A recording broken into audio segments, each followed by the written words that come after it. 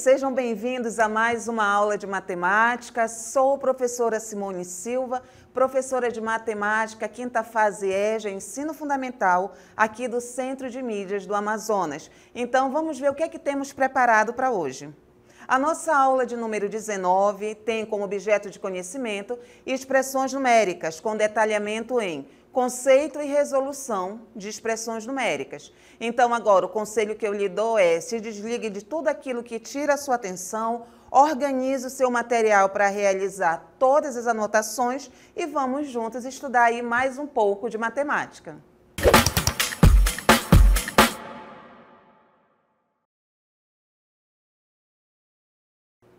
Então, hoje vamos estar estudando aí sobre expressões não é? E com certeza você não caiu aqui na aula de paraquedas. Nada acontece por acaso na nossa vida e se você veio aqui foi por um objetivo, ok? Então, não é no dia a dia que usamos expressões amazonenses, usamos expressões aí de outros estados e você pode estar pensando, ué, mas não é aula de matemática? O que, que tem a ver expressão amazonense com expressão numérica? Tem tudo a ver.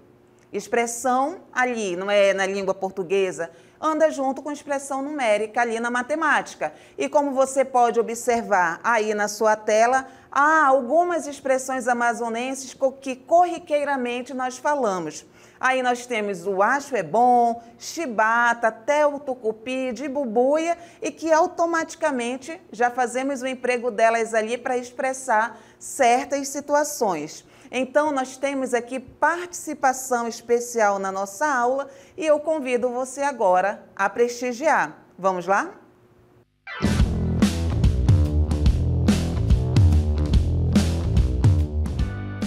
Professores Jefferson, professor Denilson, queria uma ajuda de vocês. Eu estou fazendo uma aula de expressões numéricas e pensei em falar um pouco sobre as expressões daqui da região. Vocês podem me ajudar? Claro. Um por né? exemplo, né? acho é bom. O que, que significa? Acho é bom é quando tu, por exemplo, fala para alguém não fazer algo e a pessoa faz do mesmo jeito e ela acaba se dando mal. Aí tu pode dizer, acho é bom. É, tem também o até é, o tucupi, né? Que é quando uma coisa tá muito cheia no máximo. Até o tucupi, né? Tem também. Isso. Tem o baqueado, que é quando a pessoa tá doente, não tá se sentindo bem. Tem o, o banzeiro, né? Que é quando os, a água do rio ela sobe muito, né? Com o movimento do barco, né? Tem até parece, inclusive, né, Dani? Isso. Tem que quando a pessoa até parece, quando tá assim, desconfiado de alguma coisa. Isso. E o bora. Bora? É o vamos. Vamos lá. Bora Isso. lá. Tem o chibata, que é quando alguma coisa é muito boa, é legal. Pô, chibata. Beber água é chibata. Tem que ficar tipo, tipo, quando a pessoa tá muito tranquila, assim, ah, tá, tá de bubuia, tá de bubuia, tá de boa. Isso, din-din, que é o sacolé, flau, também conhecido em outras regiões, aquele é. suco no saquinho. Aliás, é. lá no Rio Grande do Sul é conhecido como sacolé. Isso. Ah, sim. Tem o tipo, quando a pessoa fica muito assustada com alguma coisa assim, é tipo, é caroço, é caroço. De surpresa. ah, muito obrigado, obrigado mesmo. Um monte ainda, né? Então, nós vimos aí a participação dos nossos professores. Muito obrigada, professores, não é? E nós vimos aí eles estarem falando sobre expressões que nós usamos no dia a dia e que nós já tínhamos conversado aqui. E talvez, né, novamente, você já tenha se perguntado: expressão amazonense e expressão numérica, como você vai visualizar agora aí na sua tela, várias expressões numéricas, mas o que é que tem a ver? A expressão amazonense, não é, ou qualquer expressão regional, vem ali divulgando um pouco da diversidade cultural do nosso Brasilzão vem ali representando algo, vem ali traduzindo, exprimindo, representando uma situação. E a expressão numérica na matemática também exprime algo, vem ali representando algo. Então é por isso que a expressão regional, a expressão amazonense, anda juntamente com a expressão numérica. Mas para nós entendermos melhor o que vem a ser uma expressão numérica, acompanhe aí a leitura na tela. Expressões numéricas, né? a expressão numérica é uma forma de expressar ou descrever matematicamente uma situação. Essa descrição envolve números, operações e muitas vezes os sinais de associação conhecidos como parênteses, colchetes e chaves. É aquilo onde muitos alunos têm medo porque começa a ficar difícil, mas eu digo para você tranquilamente que não, mantenha só o foco. Então, para ficar melhor, não é? Para você visualizar melhor essa definição, vamos aí ao primeiro exemplo aqui da nossa aula, que diz o seguinte: em sua coleção de filmes antigos, Pedro possui filmes, 18 filmes de ação, 21 filmes de romance e 6 filmes de terror. Desses filmes, 12 são em preto e branco. Quantos filmes coloridos Pedro tem em sua coleção? Então, todo esse texto aqui nós podemos expressar em forma de uma expressão numérica, usando números. Nós começamos ali falando sobre né, filme de ação, filme de romance, filme de terror, filme preto e branco, e de repente a gente consegue colocar esse texto em números. Ou seja, é uma expressão traduzindo informações ali matemáticas através dos números. É uma expressão numérica que fica do seguinte modo: 18 filmes são de ação, 21 filmes são de romance, 6 são de terror e 12 desse total, ali, como diz o texto, são preto e branco. E a questão quer saber aí, o exemplo vem trazendo, quantos filmes coloridos Pedro tem na sua coleção. Então, vamos lá observar o desenvolvimento dessa expressão numérica. Perceba o seguinte, primeiramente, que essas três quantidades aqui que eu destaquei entre parênteses se referem a gêneros de filmes coloridos, não é? E que de todos esses filmes aí, apenas 12 são preto e branco, ó, só para você relembrar, aqui tem, ó, que 12 são preto e branco. Então, aí nós vamos ter que ver o total para tirar os 12 que são preto e branco para restar somente quem? Os coloridos. Então, primeiramente, eu vou trabalhar aqui, ó, com esses. 18 mais 21 eu vou ter 39. 39 mais 6, terei 45. Desses 45, eu vou tirar aqueles que não são coloridos. São os PB preto e branco. Quantos filmes coloridos aí o Pedro terá na sua coleção? 33 filmes. Mas observe que para se chegar aí a resposta correta do nosso exemplo, foi preciso ali obedecer regras, foi preciso que se seguisse ali, né, o fluxo normal da conta. Não pode se fazer de qualquer maneira, até porque matemática não é bagunça. Então, para que você não se perca aí na resolução de expressões numéricas, observe aí essas duas observações que eu trouxe para você.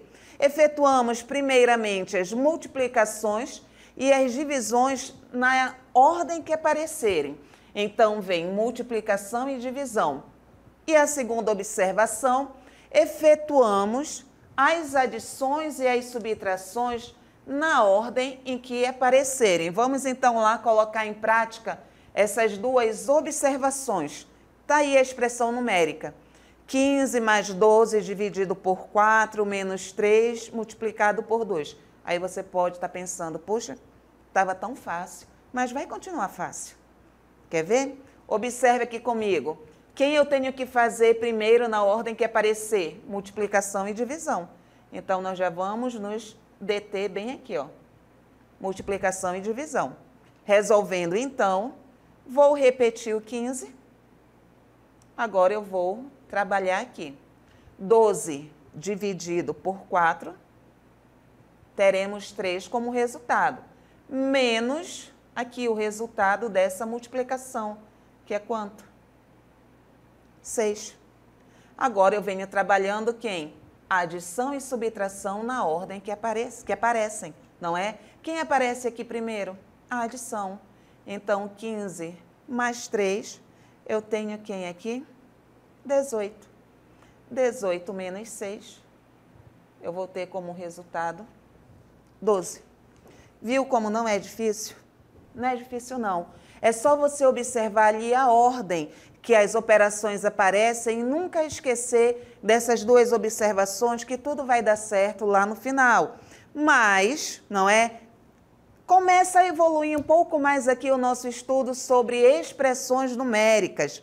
Aí você vai perguntar assim: quando é o que é que eu vou fazer quando começar a aparecer ali parêntese, colchete, chave? Quem eu resolvo primeiro? Tem mais observação aqui para você e acompanhe aí a informação que vai aparecer na tela.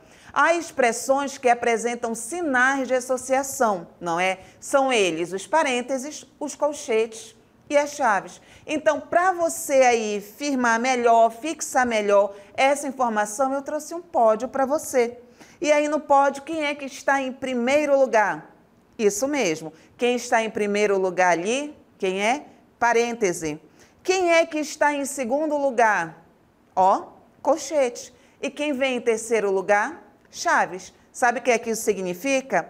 Quem eu vou resolver primeiro ali numa expressão numérica quando os três sinais aparecerem? Primeiro, parênteses. Segundo, colchetes. E terceiro, chaves. Mas para fixar melhor, vamos aqui praticar através de um exemplo e aproveite para fazer todas as anotações possíveis. Vamos então aqui ao nosso exemplo aí que você já visualiza na tela. Vamos então agora desenvolver juntos. Vamos lá? Aproveite para fazer todas as observações possíveis e anotações também. Então, acompanhe aí na sua tela. A dica que eu dou para você é se na hora da resolução você esquecer que primeiro você tem que resolver o parêntese, com, lembre, comece de dentro para fora. De dentro para fora. Você não vai errar. Olhe aí para sua tela. De dentro para fora. Quem é que vem primeiro? É o parêntese. Tanto que os números estão destacados. Então você vai começar a resolver primeiro ali a operação que aparece dentro do parêntese, que no caso é 4 mais 3. Mas o que é que eu vou fazer com os outros números? O que é que eu vou fazer com os outros sinais? Você vai repetir. Quer ver? Observe aí o próximo passo. Ó, repetir todos os outros porque ainda não posso mexer. Primeiro, resolvo o parêntese. 4 mais 3, 7. Resolvi o parêntese, legal, ele vai desaparecer. Vai ficar ali somente seu resultado. Ok? Lembre, de dentro para fora. Já foi o parêntese, quem é agora? Colchete ok? Aí nós vamos ter ali no colchete, quem? 8 menos 7. Exatamente. 8 menos 7 dá quanto? Isso, 1. Aí você vai colocar o resultado lá. Da feita que você resolveu ali o colchete, ele também vai desaparecer. Quem chegamos agora para resolver? Chave. Vamos resolver ali. Então, 10 dividido para 1 qual é o resultado? Observe aí na sua cartela, é 10. E agora, o resultado dessa chave, eu vou multiplicar pelo 5, totalizando aí 50. Viu como não é difícil? Então, não esqueça do nosso pódio. Primeiro lugar, parêntese. Segundo lugar ali, colchete. E o terceiro e último lugar, chave. Não conseguiu decorar o pódio? Então, decore sempre de dentro para fora. Olhe aí para a expressão que está na sua tela. Primeiro vem o parêntese, aí você já elimina. Depois vem o colchete e depois vem a chave e seguramente vai ser só sucesso. Mais um exemplo aí na sua tela para você fixar melhor e vamos aí resolver juntos. Olha aí, não é? Lembre da dica, de dentro para fora. Acompanhando aí a resolução calmamente, quem nós vamos resolver primeiro? Exatamente. Nós vamos resolver o parêntese. Por isso que ele está destacado aí na resolução. Então, ali, 3 menos 2, qual é o resultado? 1. Aí nós vamos fazer o próximo resultado, que vai ser, qual é a próxima operação? É a operação dentro do colchete, que o resultado vai ser, vamos lá observar, 1. Mas agora observe que nós eliminamos parêntese, colchete e ficamos aí só com a chave. E que lá dentro da chave nós temos uma multiplicação e uma adição. Quem eu resolvo primeiro? Lembre lá da nossa primeira observação. Primeiro eu vou resolver a multiplicação. Então, 4 multiplicado por 1 Eu vou achar qual valor, acompanhe aí na sua tela. Eu vou ter 4. 4 somado a 7, o nosso resultado vai ser 11. Eu não lhe disse que era fácil? É só você guardar essas informações que já farão toda a diferença aí na sua resolução, ok? Mas vem agora comigo para o quarto exemplo. O quarto exemplo nos traz essa expressão numérica e que no primeiro momento pode te assustar. Você vai olhar e vai dizer: é imensa, não é? Usando aqui uma expressão amazon amazonense, é maceta essa expressão numérica. É, mas não é assustadora porque você já sabe agora o passo a passo para resolver. Lembra? Sempre de dentro para fora. Sempre de dentro para fora. Então, ali, intuitivamente, você já vai resolver primeiro parêntese, depois você vai resolver quem? Você vai resolver colchete, e se houvesse chave, você resolveria aí a chave. Vamos então lá ver a resolução, tá? A resolução da nossa questão é o seguinte: como eu não vou utilizar esses aqui, então, opa, esse aqui eu vou ter que repetir. Vai ficar 32 dividido, ó, quem eu não for usar no momento, eu vou repetir, ok? Agora eu venho trabalhar aqui dentro do meu parêntese. Lembre-se da ordem: parêntese, colchetes e chave. Lembre disso, tá? Agora eu venho resolvendo aqui dentro do parêntese. 4 vezes o 2, 8. Adicionado a 32 dividido para 4, 8. E tudo isto aqui, nós vamos ter que multiplicar por 2.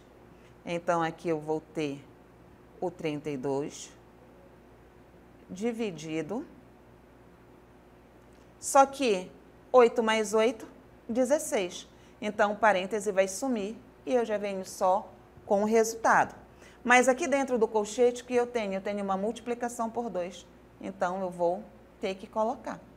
Então, ficarei com 32 dividido por quem? Por esse resultado.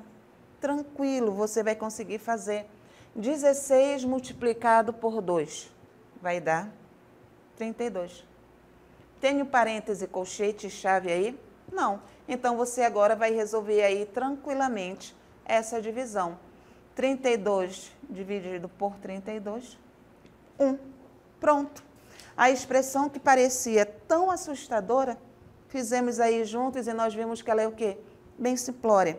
Então, qual é a ferramenta que se precisa para se resolver a expressão numérica? A primeira é você lembrar aquelas duas observações aqui logo do início da aula. Resolver multiplicação ali e divisão na ordem que elas forem aparecendo e logo em seguida adição e subtração também e depois lembrar aí da ordem de resolução dos sinais, não é? De associação que aparecem. Primeiro, você vai parênteses, depois você vai colchetes e por último, você vai nas chaves. Se esquecer, lembre, olhou para a expressão, os três sinais ali de associação estão presentes, comece a resolver de dentro para fora que você vai no caminho certo. Mas matemática é praticar. Então nós vamos praticar juntos agora em mais exemplos. Acompanhe aí a sua tela. Nós temos aqui um exemplo da vida real, onde nós usamos a questão expressão numérica sem percebermos, até hoje, né? Porque a partir de então você vai começar a visualizar a expressão numérica aí no seu dia a dia. Olha o que diz a questão. A Ana foi ao mercado e levou 100 reais. Tranquilo? Ela comprou 3 quilos de arroz, onde cada quilo custava 1,80. Ela comprou aí também 4 quilos de batata. e que cada quilo custa R$ 2,50. Coisa prática que fazemos aí no nosso dia a dia. Ela comprou também 12 garrafas de refrigerante. Onde cada garrafa custa R$ 2,60. Ela comprou também um quilo de feijão, uma compra básica, aonde o quilo custa R$ 13,40. E ela comprou 5 quilos de frango, aproveitou ali uma promoção, onde o quilo estava custando R$ 5,90. Vamos lá agora transformar essa informação no que o exemplo quer saber. Ele quer saber qual a expressão numérica que representa o troco de Ana após realizar toda essa compra. Super fácil. Tranquilo. O troco da Ana vai ser o seguinte, ó. Quanto ela levou? 100 reais. Então, dos 100 reais, nós vamos ter que tirar tudo aquilo que a Ana comprou, certo? Observe que ela comprou itens diferentes em quantidades diferentes. Então, nós vamos ter que aí pegar o valor que ela levou, que foi de 100 reais, e nós vamos ter que calcular aí, né, quanto ela vai ter que pagar aí por cada item. O arroz, o arroz ela comprou 3 quilos, então ela vai pagar pelo arroz esse valor. Só que ela comprou só o arroz? Não. Ela comprou também a batata. Ela comprou 4 quilos de batata, onde o quilo custa esse valor. Ela comprou só eles? Não. Ela fez mais compras. Ela comprou aí quem? Refrigerante. Ela comprou aí 12 garrafas de refrigerante, onde cada garrafa custa R$ 2,60. Foi só isso que ela comprou? Não, a expressão vai continuar bem aqui embaixo. Ela comprou também o feijão. Ela comprou um quilo de feijão, pagando R$ 13,40. E por último, ela comprou aí o frango. Ela comprou 5 quilos de frango, onde ele custou o quilo R$ 5,90. Está aí. A expressão numérica que representa o troco da Ana após realizar essas compras. Mas eu quero que você observe o seguinte, tá? Essa expressão numérica aqui, ela tem continuação. Ela não acaba aqui na cor verde. Ela vem acabar bem aqui no colchete vermelho. Então, qual vai ser o troco da Ana? Será 100 reais não é?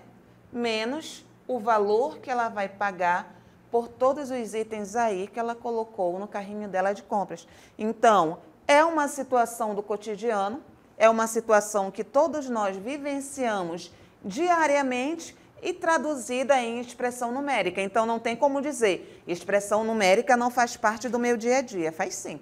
Está aqui um exemplo claro para você. Mas para ficar melhor fixado, ainda, tá?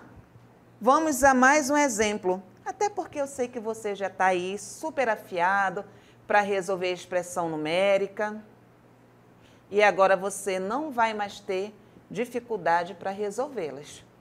Então está aqui uma expressão linda e que nós vamos resolver num piscar de olhos. Vamos lá então? Lembra da dica que eu dei para vocês? Se você esquecer que primeiro se resolve parêntese, depois colchete e por último chave, lembre daquela dica que eu dei para você, de dentro para fora. Então, sendo de dentro para fora, quem nós vamos resolver primeiro? Parêntese. E quem nós não formos resolver, você vai chegar aqui tranquilamente e vai sair repetindo. Pode repetir sem medo. Ok? Agora sim, chegamos no nosso parêntese. 8 menos 4, 4. Repete o sinal bem aqui, ó. Menos 4. Acabei a resolução? Não. Então, vamos nós de novo, de dentro para fora. Quem eu não vou usar, eu vou repetir. 52 menos 12 mais 15 menos 4. Tranquilo? Que vai ser quem? 15 menos 4? Exatamente. Aqui está. Não esqueça a dica de dentro para fora. Sempre de dentro para fora, ok? Então, aqui nós teremos 52 menos. Qual é o resultado que nós vamos ter aqui? Isso, perfeito, 23. Agora, nós vamos aí resolver essa subtração. 52 menos 23, nós vamos ficar aí com um resultado de 29. Difícil? Não nem um pouco, nem um pouco difícil. Mas o que é que você tem que lembrar? Lembre da ordem de resolução aqui, quando aparecerem os sinais de associação. Lembre que você sempre vai ter que ir do parêntese para o colchete e depois para a chave. Tudo bem? Mas vamos aqui fazer mais um exemplo para ficar mais fácil. Tudo bem? Ó.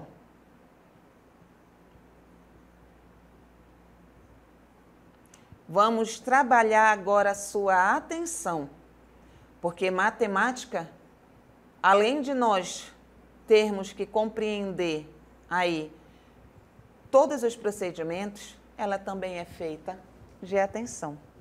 Quem eu começo resolvendo primeiro aí? Exatamente isso. Já percebeu, né? Perfeito. Quem eu começo? Eu vou começar pelo parêntese. Quem eu não for usar, você vai repetir. Isso, exatamente. Então, nós vamos ter que trabalhar aqui. 4 vezes 2, reconheceu, né? Exatamente isso.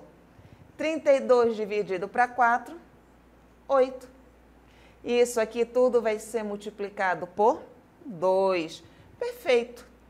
Como você já reconheceu esse exemplo, o que é que eu vou ter que fazer agora?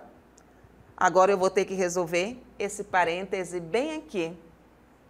32 dividido por 8 mais 8, 16. 16 vezes 2 vai dar quanto? Exatamente, 32. Pronto. Você já reconheceu a questão e seguramente você chegou aí ao resultado final. Viu? Quando a gente já conhece ali uma questão, rapidinho a gente consegue chegar lá no resultado final, gabaritar a questão. É exatamente isso que acontece quando nós estamos ali conhecendo as observações, o processo ali de quem se resolve primeiro, quando aparece ali o sinal de associação, que é parêntese, colchete, chave. Tudo requer intimidade, tudo requer prática. Então, espero que vocês tenham feito todas as anotações aqui importantes e até o próximo encontro.